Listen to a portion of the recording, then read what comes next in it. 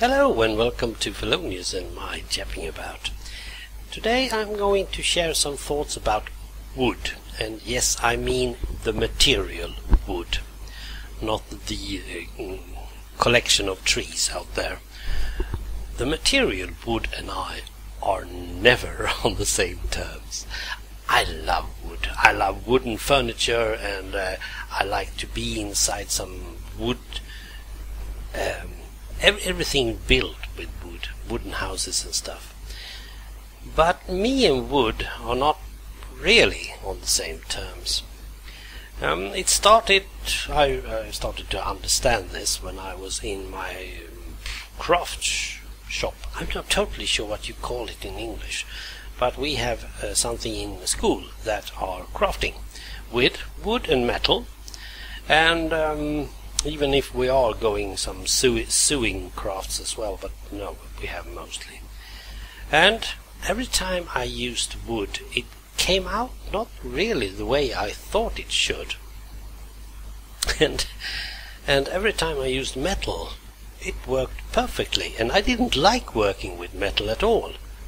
Um, it's a bit strange, I know. Um, once I tried to do some sort of candle holder, and uh, trying to do uh, four candles, and I measured and I was very um, order with all things, but every time I tried to do something like drilling or something, it just cracked or made some problems. And when I finally, well, my my teacher told me that you can't go on working on that piece of wood forever. Finish it or throw it away.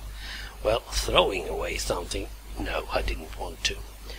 So I just did some things to, to make it, well, useful. Um, but it was a bit lower in one end than the other one, and it really didn't look that nice.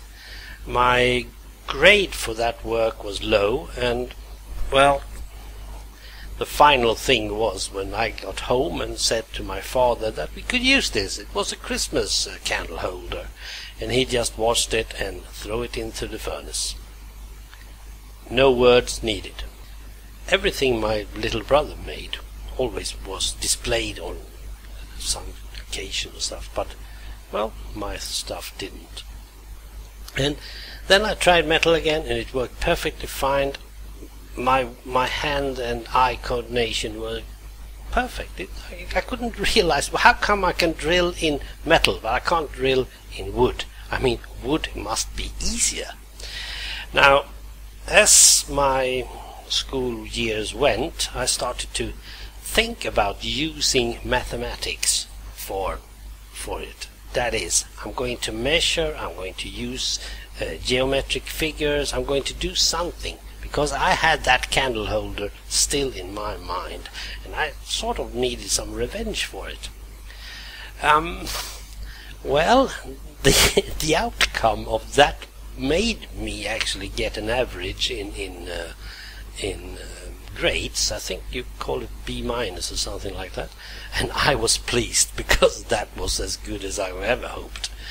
But it was too big and there was no candle that could fit in the middle, so the teacher didn't understand it was a candle holder.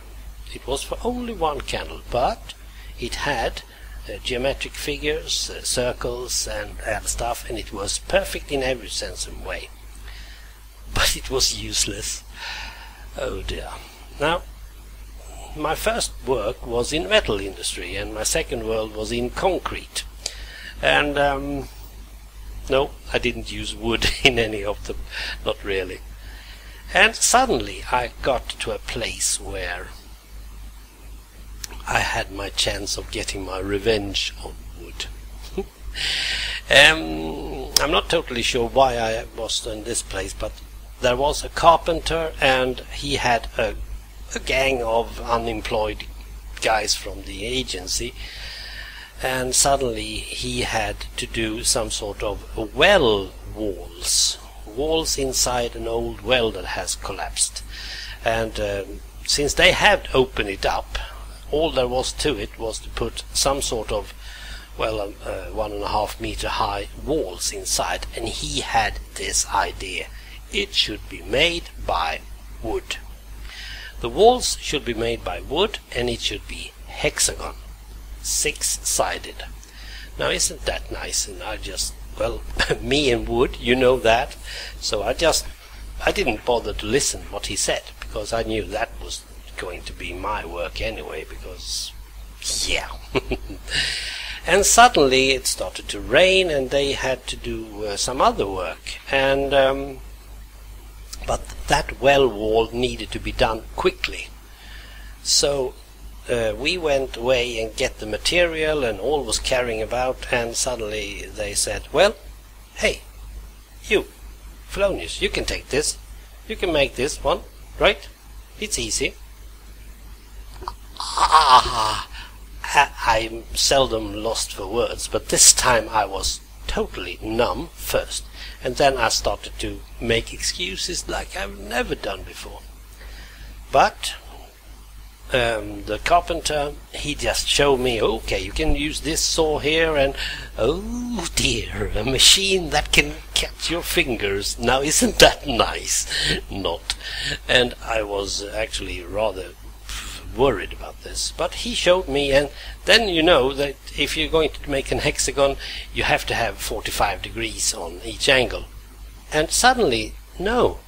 I just said, no, not, not 45 degrees. Yes, it's 45 degrees, the carpenter said. No, it's not 45, it's 60. No, it's 45. I'm going to show you. And I just let him.